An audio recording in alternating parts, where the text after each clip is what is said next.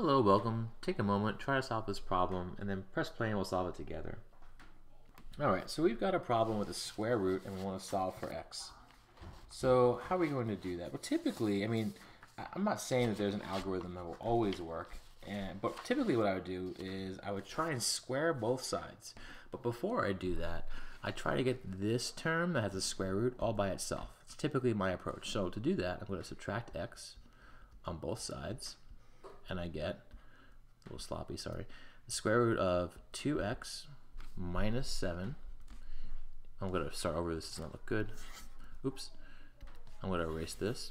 Okay, let's try it one more time. Uh, you know what, maybe I'll zoom out so the pen doesn't look as rough. All right, so here we have, I'm just going to rewrite the whole thing, the square root of 2x minus 7 plus x equals 5. Subtract x on both sides and I get the square root of 2x minus 7 equals 5 minus x. Now it's easier to square both sides. If you squared this, you'd have to do distribution of two terms. But here, if we square this side, that will just cancel out the square root. So we get 2x minus 7. Now 5 minus x squared, we're going to have to distribute. Okay. And we get 25 minus 5x minus 5x is minus 10x plus x squared, and that equals 2x minus 7. And now we go a little bit further. I'm going to subtract 2x on both sides and add 7. Do that all at once. Add 7, subtract 2x, add 7, subtract 2x on both sides of my equation. This cancels to 0, and I get 32 minus 12x plus x squared.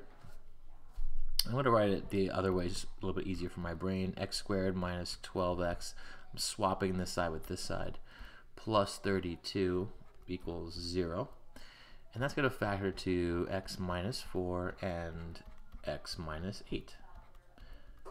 Right, two numbers that multiply to positive 32 but add to negative 12. So therefore, x could be 4 or 8. But be careful. If you're ever dealing with a problem with a square root or fraction with an x in the denominator, it's possible it could be undefined. In this case, it's possible because when you're with the square root and solving, you're squaring both sides. You could create extraneous solutions. So let's check both of these real quick.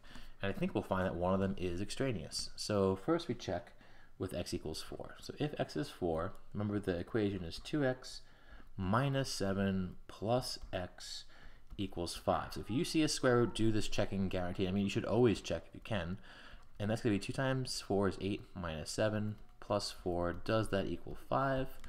Well, 8 minus 7 is 1. So square root of 1 plus 4 equals 5. Square root of 1 is just 1. 1 plus 4 is 5. 5 is 5. It checks out.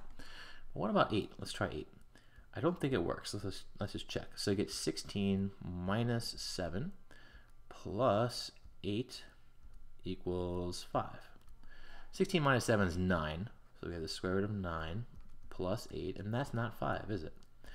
If we took the negative square root of 9, negative 3, it would work, but this implies a positive square root. So it's 3 plus 8 equals 5, and that's not true, right? 3, 11 does not equal 5, so this is extraneous.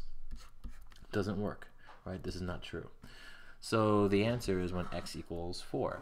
Now if we go back, let me just say this again. If you ever come across a problem with the square root, I find that you're often given a situation where one of the solutions you get is in fact extraneous on the regents. They're designing questions like that, so look out for it.